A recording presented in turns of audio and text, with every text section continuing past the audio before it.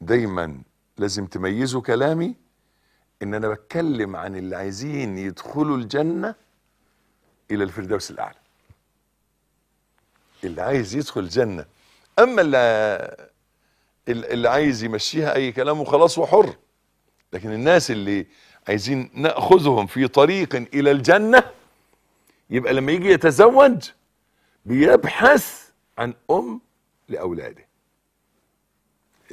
الزوجة دي أو البنت دي اللي أنا بختارها اللي أنا رايح أشوفها تنفع تطلع لنا أمير للمؤمنين؟ العيلة دي أبوها ده وأمها ده وأمها دي؟ أخوها ده هيبقى خال أولادي وأختها دي هتبقى خال أولادي؟ البيت ده هينفع إن زوجتي أحيانا تروح تقعد فيه ليلة وليلتين وثلاثه مع اولادي يقعدوا فيه ويسمعوا ويشوفوا اللي موجود ده هذا حال الاختيار. شفت فين؟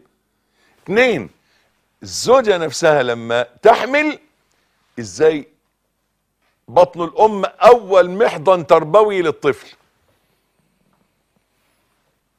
هذه البطن سيسقى فيها دين وبعدين هيرضع دين. وأوحينا إلى أم موسى أن أرضعيه. قلنا إن الرضاعه أمر فطري.